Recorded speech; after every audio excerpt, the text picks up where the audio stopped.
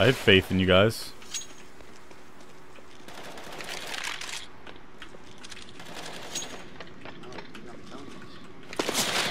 Just calm down, bro.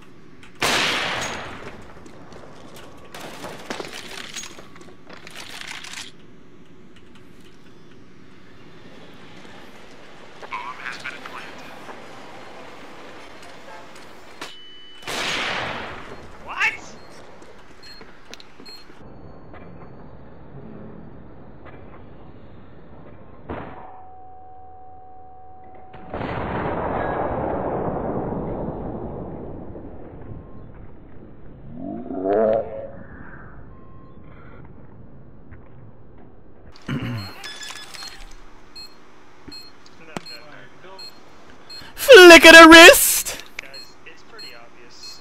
Uh, we uh, got some crisp, clean locks here, boys.